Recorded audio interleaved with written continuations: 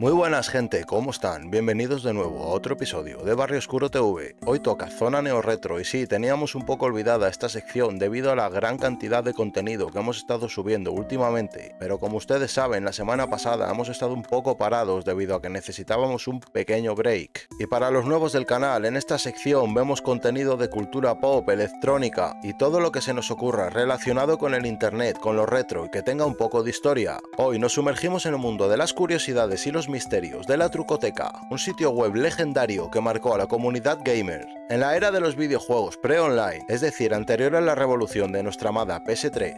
Pero claro, a día de hoy, en pleno 2024, la Trucoteca prácticamente es historia. Pero entonces, ¿qué ha sido de esta plataforma que alguna vez fue la reina indiscutible de todos los trucos y secretos? Porque muchachos, por aquel entonces había una página más completa que esta. Acompáñennos en un viaje nostálgico mientras desentrañamos los misterios del ascenso, el apogeo y la misteriosa caída de la Trucoteca, solo en Barrio Oscuro TV. Para entender el fenómeno de la trucoteca debemos retroceder en el tiempo hasta finales de los años 90 y principios de los 2000, la época dorada de los videojuegos, en un mundo donde la información no estaba tan accesible como hoy en día.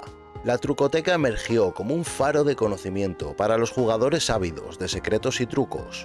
Su interfaz sencilla y su amplia base de datos convirtieron a este sitio web en el destino predilecto de millones de jugadores en todo el mundo. Recordamos pasar horas y horas navegando por la trucoteca en busca de esos trucos que nos ayudarían a avanzar en nuestros juegos favoritos.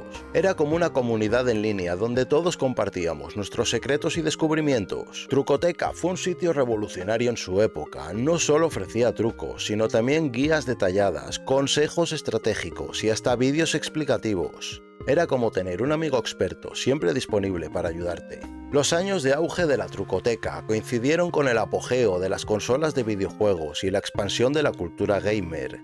Su popularidad traspasó fronteras y se convirtió en un referente no solo en España, sino en toda la comunidad de habla hispana. Pero como en toda buena historia, el éxito de la trucoteca también estuvo acompañado de grandes desafíos. Con el tiempo, la aparición de nuevas tecnologías y plataformas de información cambió completamente el panorama del mundo gamer. Sitios web más modernos y redes sociales ofrecían una experiencia más interactiva y actualizada. Además, la legalidad de algunos de los métodos de la trucoteca fue cuestionada, lo que generó mucha controversia en la comunidad. Estos factores, sumados a una gestión interna complicada, contribuyen al declive de la trucoteca. A pesar de sus esfuerzos por adaptarse a los nuevos tiempos, la página finalmente desapareció en un mar de nostalgia y recuerdos para millones de jugadores. La trucoteca puede haber desaparecido, pero su legado perdura en la memoria de todos aquellos que alguna vez buscaron un truco para superar un nivel imposible o desbloquear un personaje secreto.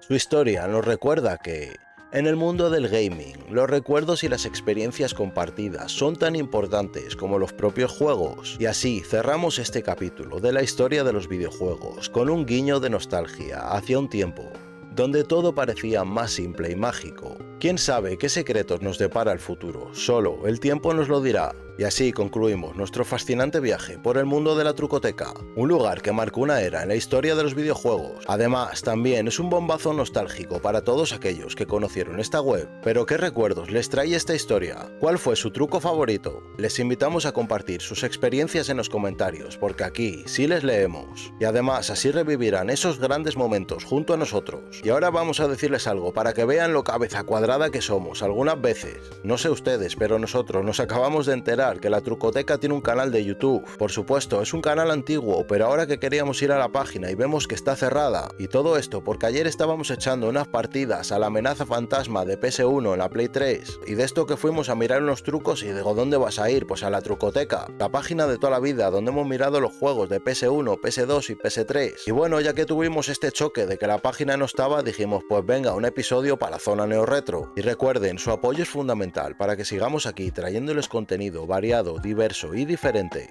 Por supuesto, si les gustó nuestro episodio de hoy, no duden en compartirlo con sus amigos y dejarnos un like. Además, suscríbanse al canal si aún no lo están para no perderse ninguna de nuestras aventuras, misterios y secretos. Y recuerda que donde se habla del mundo sin filtros es aquí, en Barrio Oscuro TV. ¡No fuimos!